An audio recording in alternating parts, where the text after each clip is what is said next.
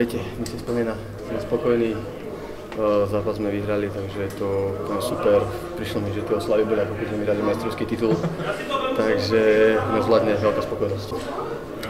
Rozhodujúci zápas, nebudeme sa na nikoho iného spoliehať, iba sami na seba, prvý počas 0-0, mali nejaké náznaky šanci, čo sme trošku stali nervózne a sme si podali, že druhý počas do toho, do toho šlapneme, že si vytvoríme šance, dáme góly a to sa stalo.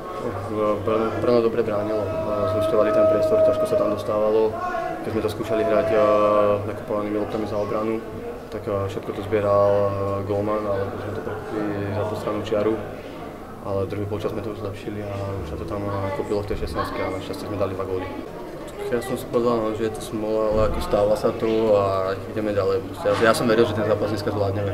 Takže nerobil som si z toho nejakú, nejakú veľkú hlavu, že by, že by sme to už nezvládli. Bári, keď nastúpi, tak je to vždy cítiť uh, podvihne tých fanúškov.